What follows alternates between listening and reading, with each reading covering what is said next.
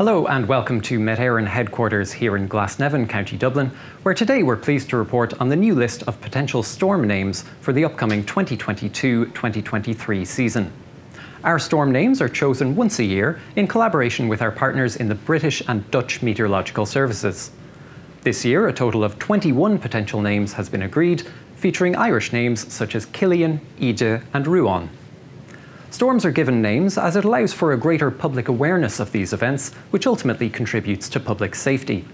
A storm is named when there is a chance that it could cause medium or high level impacts in any of the partner countries, generally in conjunction with orange or red level wind warnings. For further information and for the full list of potential storm names, visit met.ie slash forecasts slash storm hyphen names.